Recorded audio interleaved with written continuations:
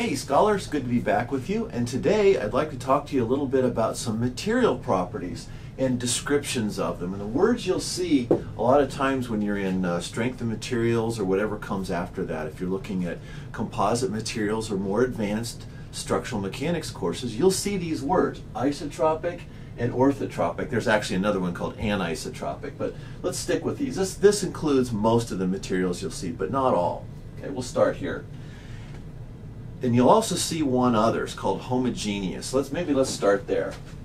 The idea here is that before you can write an equation to describe the behavior of some object, like a beam or a plate or a cylinder or something like that, you have to know something about the materials. Well, in strength of materials, we typically assume it's made out of metal because metal is easy to work with, and we assume metal is homogeneous and isotropic. Now, homogeneous, I know this is spelled homogeneous. If you're not talking about engineering, it's homogeneous. If you are talking about engineering, every class I've ever been in, every engineer I've ever talked to, that's homogeneous. So for all you English majors out there, sorry, I didn't invent this. This is just how it is. So homogeneous is, is, a, is a material that's the same everywhere.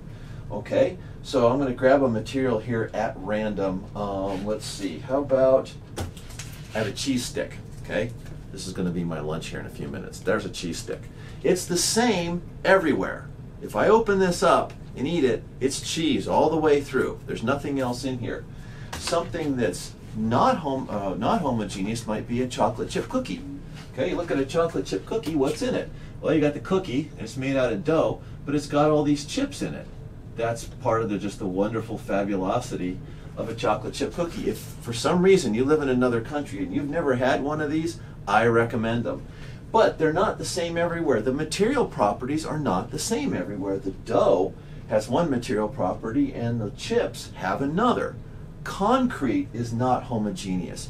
It's got sand and cement and water in one part, but it's also got aggregate, rocks, basically, in there. So concrete, if you look at it as a whole, zoom back far enough, yeah, it looks homogeneous, but you zoom in, it's not. It's got rocks and it's got concrete. All right? So that's homogeneous. Well, we're not worried about homogeneous right yet. We're, we're going to move on to a more of uh, maybe sophisticated description called isotropic and orthotropic. Now, not all materials have the same property in every, or same material properties, the same stiffness, the same uh, fracture resistance, the same elastic modulus in every direction. Okay? Here is a board. Okay, I have a guitar making lab here, and this is a piece of wood that I'm eventually going to make a guitar with. All right, it's a piece of maple and it's been thermal treated, so it's a little bit dark. But if you look real close, Okay, see if I, eh, maybe. There, you can see the wood has grain. Well, of course, that's how trees grow. They grow vertical. This board used to be vertical in this maple tree.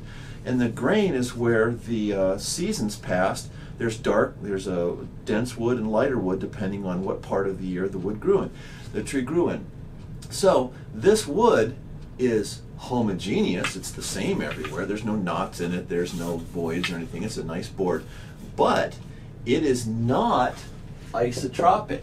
The material properties are not the same everywhere. It's very strong along its length and relatively weak across its length. That's why we make the neck this way in the board and not this way. Okay, it would break if we made it cross grain. So that's anisotropic or isotropic. All right. So here's another one. I'm going to pull out my little cheese stick here. Even materials that look like they're isotropic may not be. Okay, here's here's a cheese stick. Okay, it's just cheese, right? If I break it this way, right, it breaks it with a certain force.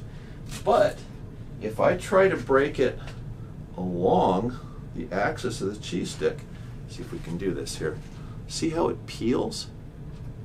All right, and it's got these little strands in it.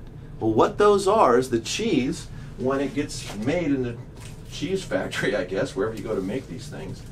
I'll put this somewhere where I can not get it too dirty.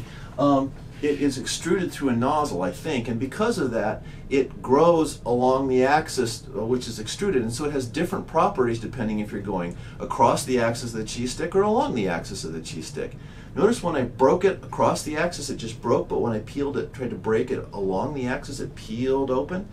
That's what anisotropy looks like. That's not an isotropic material because its material properties depend on which way you're looking. Okay, so we've got that. Okay, what does orthotropic mean? Well, orthotropic, it sounds kind of like orthogonal. That's what that means. It means you've got two directions that you're interested in, and they are perpendicular or orthogonal to each other. Okay, or orthogonal to each other. And they're real, the material properties can be described in one of two directions.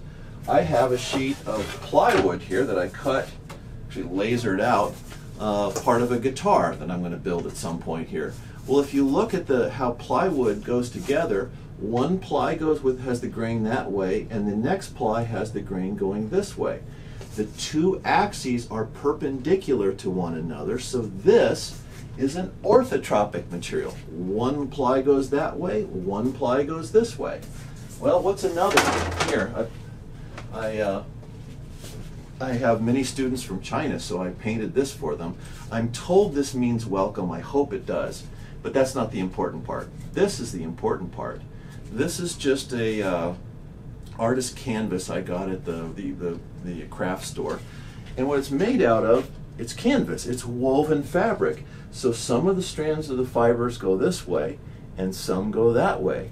This is an orthotropic material. If you've got clothes on right now, and I guess I guess I hope you have clothes on, your clothes are probably orthotropic. Uh-oh. Now I don't know how to hang it up again. Okay, there we go. Boy, I hope that's right side up. I'm not sure it is. So that's the difference between isotropic and orthotropic. Let's just go around the little playground that is my office. Okay, burn out mill bits that my students keep killing off. This is car, uh, carbide, steel with, with carbide in it. This is pretty much isotropic. It's pretty much the same properties no matter which direction you look. This, one of my students was an A10 mechanic before he became a student, so he gave me a shell casing. It's just metal, it's just a piece of aluminum. There's no explody stuff in there anymore, I, I hope. Now, this is just aluminum, so this is isotropic. Now, the only hitch here is that there are some materials that look isotropic but really aren't. I mean, they kind of are. I have paper here. I have some little cards. You ever notice that when you tear a piece of paper, it tears easier in one direction than the other? There's one direction, and there's the other direction. It tore easier the second time. This paper actually has a slightly preferred direction it slightly, uh, slightly different material properties in one way or the other. So paper is slightly orthotropic. Okay? And one variation on this is called unidirectional. Okay? If you're dealing with a composite and all the fibers go the same direction and they're just stuck together, with a matrix of plastic usually, that's unidirectional. That cheese stick is actually unidirectional. Okay, that paper, I don't know, probably orthotropic. Okay, so here we go. We have isotropic, same material properties in every direction. Metal is usually assumed to be isotropic. Now, rolled plates are rolled in a direction, so steel actually kind of has a grain to it. It's sort of orthotropic, but we generally assume it's isotropic. Talk to a machinist. They will actually care about the grain of the steel. They'll actually have a preferred direction based on the direction a plate is rolled or a bar is extruded. But basically, metals are isotropic. When we analyze them, we usually assume this.